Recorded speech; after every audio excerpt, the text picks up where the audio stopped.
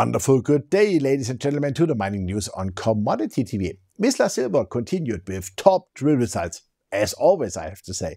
Further high-grade intercepts at Copala have just been reported from 27 new holes targeting the Copala resource area at the Panuco Silver Gold project in Mexico. The reported drilling aimed at infilling and extending the mineralization successfully confirmed the high-grade continuity at Copala and extended the mineralization by approximately 100 meters down dip to the southeast. Highlights included 703 grams silver per ton, equivalent over 6 meters true width, equating to 487 grams silver and 3.7 grams gold per ton, including 1,327 grams silver equivalent over 2.26 meters. Another hole returned 332 grams silver equivalent over 13.6 meters true width and 658 grams silver equivalent over 5 meters. Ongoing drilling on the high-grade Copala structure continued to demonstrate exceptional mineral continuity, said Michael Konnert, the president and CEO of the company. And he moved on. Since the release of the updated mineral resource estimate in January 2024, we have focused on the de-risking of Copala through infill and geotechnical drilling with two drill rigs in advance of the project's first PEA.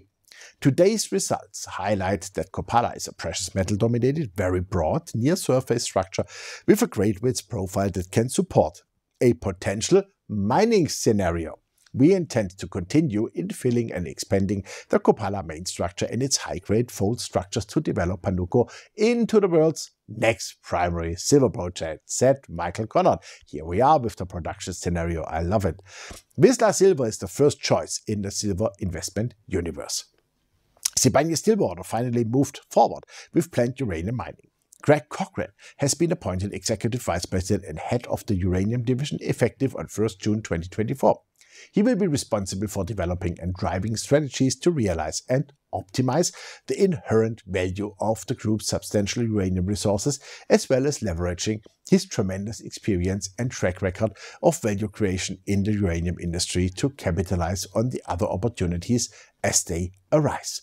His extensive experience in the uranium industry spans more than 15 years, starting in 2006 when he joined Uranium One's South Australian team leading the Honeymoon mine through environmental approvals and overseeing the establishment of the joint venture between Mitsui and Uranium One Australia. Greg also led the due diligence team on Uranium One's $3.8 billion acquisition of Ur Asia in 2007, the largest uranium transaction in history, and was responsible for the integration and management of the Kazakh joint venture interests. Neil Froneman, the CEO of Sibanye-Stillwater, welcomed Greg's appointment with Given the solid fundamentals currently underpinning the uranium market, we will be exploring various options to enhance the value of our existing 32 million pounds of uranium resources at the surface at the Cooke tailings dam and the 27 million pounds of uranium resources at Beatrix 4. We are confident that Greg will realize this potential, said Neil Froneman. At long last, we are finally starting to tap into the uranium treasure trove of Sibanye-Stillwater the share is a buy at this level. The, and the uranium sector continues with another takeover. Premier American Uranium strengthens its leadership position in the industry with the acquisition of American Future Fuel and welcomes renowned uranium expert Colin Healey as CEO. The acquisition makes sense as it builds a new uranium champion in the US. Colin Healey holds a master's degree in business administration and is a mechanical engineer with over 20 years of experience most of which was spent as a mining research analyst with a recognized Canadian broker-dealer in uranium and other commodities. Tim Rotolo is now chairman of the board. Under the terms of the arrangement, shareholders of American Future Fuel will receive 0.17 common shares of Premier American Uranium for each um, AMPS share. The existing shareholders of PUR and AMPS will own approximately 64.2% and 35.8% respectively of the pro forma outstanding PUR shares upon completion of the arrangement. The implied equity value of the combined company is estimated to be approximately 129 million Canadian dollars. We welcome the acquisition. Copper has now established itself above the $4 per pound mark, and Hannan Metals has discovered new thick types of high-grade copper from sedimentary rocks in Peru. Samples return 5.8 meters of 3.1% copper and 65 grams per ton silver from Surface. This is located at San Martin West in the San Martin project in northern Peru.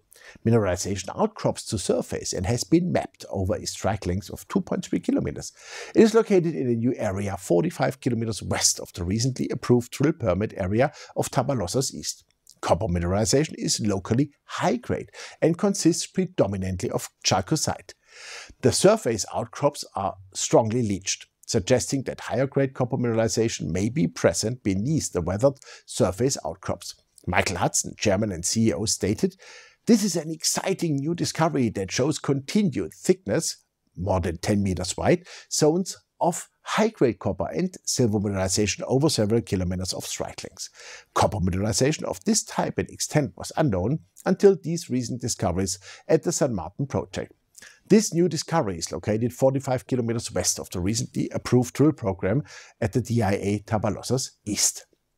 We look forward to advancing this new discovery with more detailed geological mapping and geochemical sampling as we prepare for the upcoming drill program at Tabalosas, he said.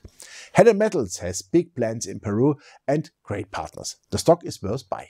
You can also find all the information on our Commodity TV app in German and English, as well as everything to do with commodities. We look forward to your like and more importantly, please subscribe to our TV channel.